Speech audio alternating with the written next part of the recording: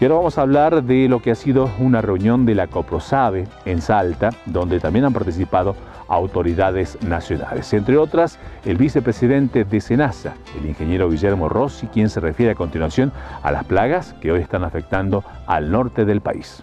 Eh, he sido invitado a participar de la Coprosabe en un momento eh, importante con respecto al tema de plagas eh, en lo que es la parte vegetal. Eh, tenemos varias plagas que están eh, impactando fuertemente en, la región eh, y en el país, como es el caso de langosta. langosta ha ido avanzando a través del viento norte y condiciones diferentes a lo que nos venía ocurriendo hasta años anteriores y hoy tenemos hasta Córdoba incluso ha llegado la plaga y bueno, la forma de trabajarla ha sido de una manera muy integrada y coordinada con el sector privado, con las provincias y un poco venimos a eso, a contar cuál es la experiencia del trabajo que estamos haciendo en el resto de las provincias y, trabajar con el sector privado acá. Eh, con las provincias ya venimos y bueno, un poco es transmitirle eh, la, estrategia de control. Casualmente, ¿cómo está trabajando en cuanto al control de esta plaga? La estrategia esta que planteaba viene de, digamos, nosotros estamos comprando parte de producto, las provincias también. Eh, los equipos de tierra son de Senasa.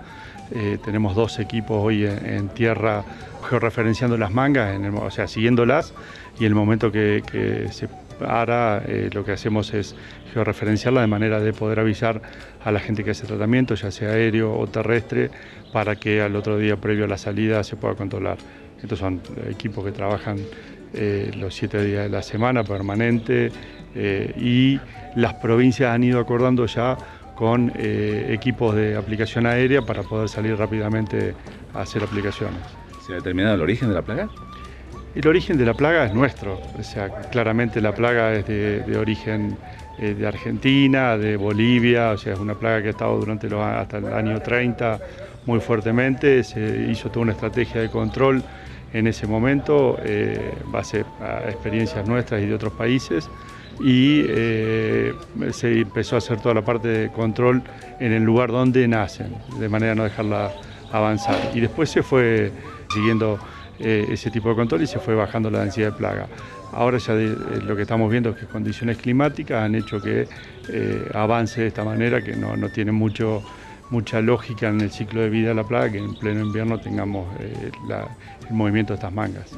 Se ha hecho una evaluación de daños justamente en cada una de las zonas donde se ha comenzado a, detectar la plaga. Sí, estamos haciendo evaluación de, eh, digamos, del estadio en que está la plaga eh, y del daño. El daño recién ahora está empezando a darse en algunos cultivos. Hasta ahora la plaga estaba en condiciones de tener que moverse. Cuando la plaga se mueve hacia el lugar de origen, que sería eh, alrededor de Santiago, La Rioja no, no come, sino que necesita estar eh, liviana para volar, eh, sí empieza a comer cultivos cuando tiene que empezar a reproducirse. Y estamos entrando en una etapa de reproducción de una nueva generación. Otro de los temas excluyentes, sin dudas, es HLB, la proximidad, digamos, de la bacteria eh, detectada hace pocos días en Santiago del Estero. Sí, con respecto a HLB, bueno, en realidad venimos trabajando también con Afinoa, con las provincias, eh, en, el, digamos, en la prevención de la plaga, era, fue la estrategia que nos permitió eh, estirarlo a lo largo del tiempo del avance. Claramente nuestra estrategia es tratar de frenarla las fronteras, ir haciendo erradicaciones, tenemos equipos que se mueven permanentemente para hacer monitoreos más intensivos. Y como siempre pedimos que cualquier tipo de eh, sospecha que se tenga, por eso tanto nivel de capacitación que vamos dando en todos los lugares, tanto las provincias como FINOA como SENASA, es eso, que se dé la alerta para poder eh, avanzar en los controles. Específicamente en la región se está avanzando en fortalecer el tema de barreras y en patrullas móviles, trabajándolo también junto con las provincias, para evitar en principio que ingrese eh, material contaminado. Esa es la principal estrategia sobre todas las cosas, la concientización de evitar el traslado de material verde. Sí, sí, exactamente. Lo que buscamos es eso, que no se mueva material verde. Eh, la fruta no es, eh, digamos, agente de traslado, pero sí cualquier tipo de rama, hoja que pueda estar acompañando. Lo mismo en, eh, materia de propagación. traer material de propagación de otros países o de otras zonas está prohibido, así que eso es lo que hay que evitar. Muy importante la producción citrícola justamente en el NO y es fundamental contar con barreras sanitarias acordes. Sí, sí, sí, la producción citrícola, la, actividad que da para eh, el desarrollo de, mucha de, la, región completa, mano de obra eh, y en, realidad con el valor eh, agregado de una mercadería que sale al mundo con nuevos mercados, como es el caso de México, como es el caso de Estados Unidos, recientemente abierto. Entonces, eso nos obliga a tener eh, un control eh, firme sobre el ingreso de esta plaga a la región.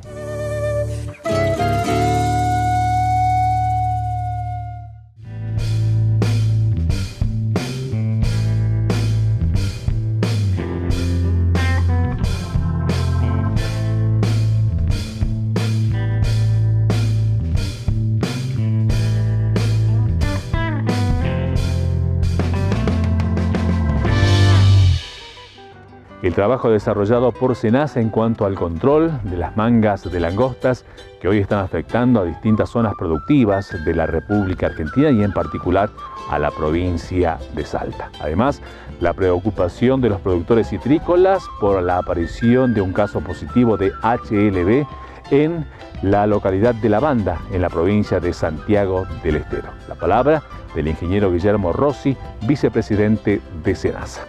Ahora le voy a presentar nuestra segunda pausa comercial. Ya volvemos.